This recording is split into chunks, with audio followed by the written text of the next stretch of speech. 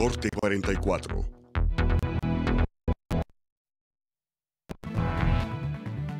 ¿Qué tal? Muy buenas tardes, bienvenidos a este corte informativo. Dan a conocer avenidas peligrosas y mire, son cinco vialidades de la zona metropolitana de Guadalajara que concentran los accidentes viales donde han participado conductores con resultado positivo en la prueba de alcoholemia. Se trata de periférico como la vialidad con más percances de este tipo. Le siguen la avenida Acueducto, Federalismo, Carretera Morelia, la calle Javier Mina y la prolongación Avenida Vallarta.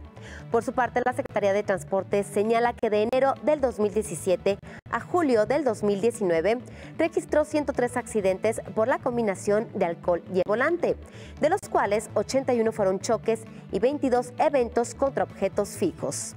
El municipio con más accidentes de este tipo es Guadalajara con 41, le sigue Zapopan con 29, Tlajomulco con 16, Tlaquepaque con 13 y Tonalá con apenas 4 incidentes. En otra información, el exgobernador de Chihuahua, César Duarte, quien se encuentra prófugo de la justicia, fue ubicado en un bar en la ciudad de Albuquerque, en Nuevo México, esto de acuerdo con una fotografía que circula en Internet.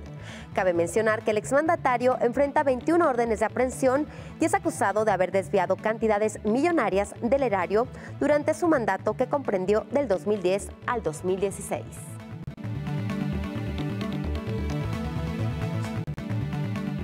Hasta aquí la información. Muchísimas gracias por su atención. Soy Cecilia Saldaña. Lo invito a que continúe disfrutando de la programación de Canal 44, la señal de todos.